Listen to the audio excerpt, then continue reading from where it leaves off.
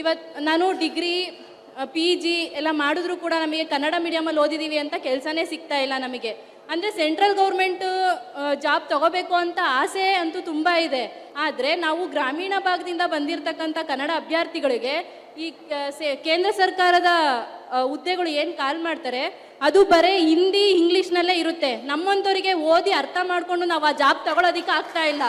I think this is a fundamental thing. Kannada is your language and it deserves a space. If you want to communicate in Kannada, it is your right to communicate in Kannada. A language is much more than simply something you use for conversation.